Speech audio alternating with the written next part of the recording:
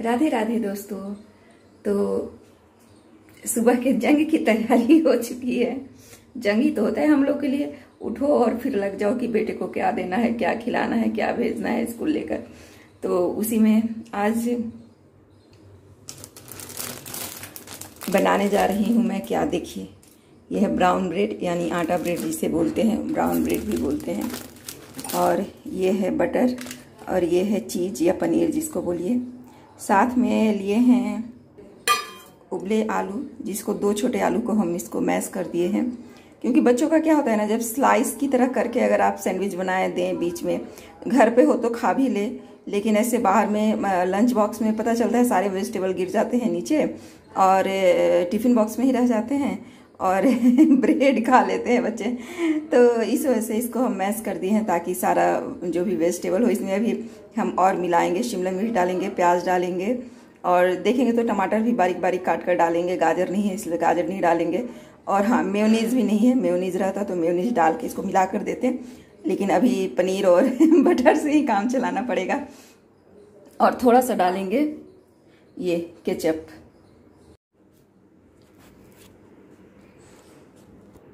पहले यहाँ दो स्लाइस हम लिए हैं ब्रेड का, उसके ऊपर बटर डाले हैं, इसको अच्छे से मिलाते हैं और उसके बाद आगे देखते हैं क्या करते हैं। अब ये ब्रेड पर बटर स्प्रेड कर दिया है मैंने तो अब इस पर मैं डालूँगी ये जो आलू मैंने मैश करके रखे हुए थे वो।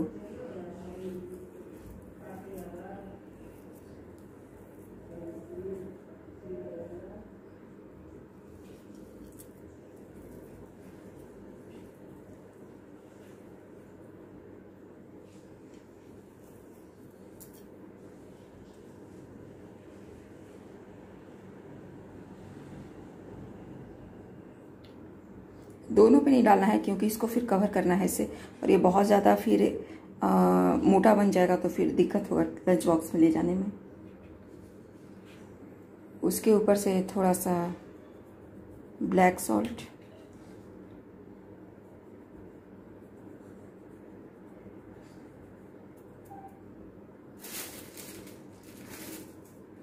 थोड़ा जीरा पाउडर आप अगर चाहें तो चाट मसाला भी डाल सकते हैं, लेकिन हम तो नहीं डालेंगे। क्योंकि ईशान के लिए बना रहे हैं तो ईशान बहुत कुछ इस तरह का खाना पसंद नहीं करता। फिर इसके ऊपर से हम डालेंगे थोड़ा सा केचप।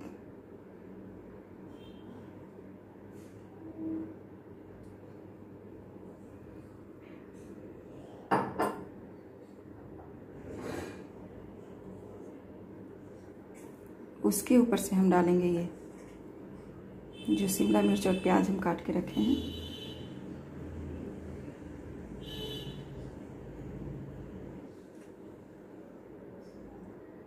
ये हो गया। इसके ऊपर से आप थोड़ा सा और एक पिंच ब्लैक सॉल्ट डाल दें। इसके ऊपर हम डालेंगे ये चीज़। इसको हमने कद्दूकस कर लिया है। तो आप ऐसे डाल सकते हैं या स्लाइस बना के भी डाल सकते हैं। तो अभी हम ऐसे ही डालेंगे, क्योंकि हम यहाँ पर सब्जियों को भी बारीक बारीक काटे हैं, ताकि वो सब कुछ खा सके। हमारा मेन मोटो क्या होता है कि बच्चे को जो हम दे वो खा सके और वो उसके लिए हेल्दी हो। इस कारण हम इसको बारीक बारीक काटे। अगर स्लाइस काटते तो निकाल देता, उसको अलग करके खाता ब्रेड खाता, सिर्फ़ इस वजह से हम इसको ऐसे दिए अगर आपके बच्चे स्लाइस खाते हैं तो आप स्लाइस में ही कटिंग करके दीजिए तो थोड़ा सा आसान हो जाएगा बनाने में। तो चीज़ को कद्दूकस करके रखा था, उसको मैंने ऐसे इस पर डाल दिया है ऊपर से। और अब ये दूसरा ब्रेड भी जो बटर लगा के रखे हैं, वो भी इसके ऊपर जाएगा। और इसको अब करते हैं सेक कर रेडी। तो ये इसको हम सेक चुके हैं। तो ये बिल्कुल ऐसा हो गया है, इसको बटर डाल के सेक लिए हैं अच्छे से। तो ये काफ़ी कुरकुरा और अच्छा टेस्टी हो गया। गर्म खाने में तो खैर बहुत ही अच्छा लगता है और हेल्दी भी है, लेकिन चूँकि इसको टिफ़िन में, लंच बॉक्स में डालना है ये थोड़ा सा और ठंडा हो जाए अभी गर्म है तो इसको फिर काट कर और टिफ़िन में दे देंगे हम, पैक कर देंगे। ये मैंने इसके दो पीसेस कर दिए हैं, ये काटने में थोड़ा गिर गया है कट के। ये आप लोग देख सकते हैं कैसा लग रहा है। और ये टेस्टी भी है हेल्दी भी है तो आप लोग भी ऐसा बनाकर अपने बच्चों को ज़रूर दीजिए। थोड़ा सा उनका भी चेंज होगा मूड ईशान के जाने के बाद हम आ गए हैं छत पर मतलब इस बीच में आधे घंटे पैंतालीस मिनट से गए हुए हुए हैं, आठ बज रहे हैं अभी।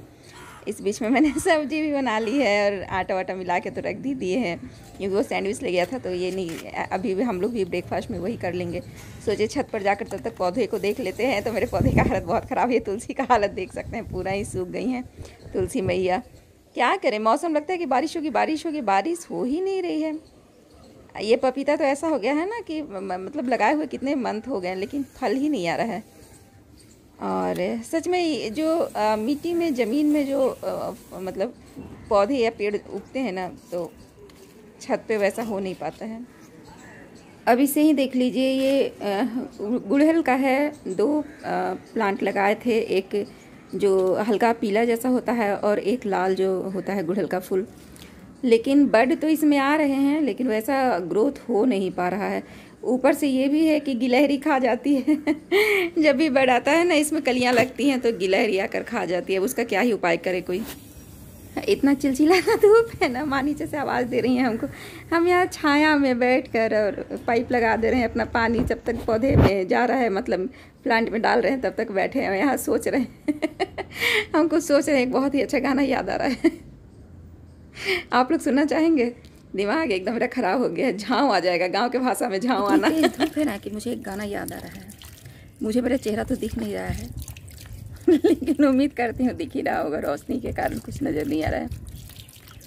तो गाना ये है, जिया जले, जहाँ जले, नैनो तले, धुआँ चले पता नहीं, ऐसे ही है ना शायद, लेकिन अभी मुझे याद आ रहा है। पैरों तले, ज्वाला जले ज्वाला जले।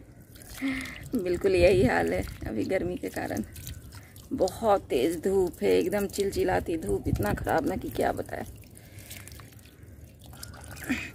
चले अब। तो मेरे सारे काम हो गए और आज से छत से आए तो ऐसा लग रहा था जैसे बेहोशी हो जाएँगे। इतनी तेज़ धूप है ना, माँ भी नीचे से आवाज़ दे रही थी कि क्या हो रहा है धूप में, आ जाओ आ जाओ। बोले, क्या करे, समय नहीं मिलता। फिर बाद में याद भी नहीं रहता है। तो और मतलब धूप का ऐसा है ना कि छः बजे, साढ़े छः बजे तक गर्मी लगती ही है तो छत पे जाने का फिर मन भी नहीं होता है। बोले, सुबह ही डाल दे पौधों में पानी थोड़ा, क्योंकि उसके बाद तो फिर आकर नहा लेंगे तो मन फ्रेश हो जाएगा। तो इसी वजह से चले गए और आज ईशान को दिए हैं सैंडविच। उम्मीद करते हैं वो खा के आए, वो आएगा तो बताएँगे। वैसे उसका एग्ज़ाम शुरू होने वाला है तो थोड़ा सा उस पर ध्यान ज़्यादा देना है। और प्रैक्टिस करवानी है, मैथ का पेपर है, फ़र्स्ट डे। और थोड़ा सा मैथ में उसको प्रॉब्लम है। पता नहीं क्यों आता हुआ चीज़ भी कैलकुलेशन करने में फिर से गलत ही कर देता है। मतलब बार बार उसको समझाते हैं बार बार मतलब मेथड बताते हैं। फिर भी इसी वजह से संजू को ट्यूशन भी पढ़ाने के लिए बोले। फिर भी उसके साथ थोड़ा सा प्रॉब्लम है। खैर, बच्चा है धीरे धीरे सीख ही लेगा। डांट कर, मार कर तो पढ़ाया नहीं जा सकता है ज़्यादा। धीरे धीरे हाँ प्यार से फुसला के ज़रूर समझाया जा सकता है तो वही कोशिश करते हैं। कभी कभी गुस्सा आ जाता है बीपी के कारण, बीपी हाई रहता है तो इस कारण थोड़ा सा प्रॉब्लम हो जाता है। बाकी सब चल ही रहा है। पहले से बेहतर महसूस कर रहे हैं आज। तो आज के वीडियो को बस यहीं पर इन करते हैं और मिलते हैं कल आपसे।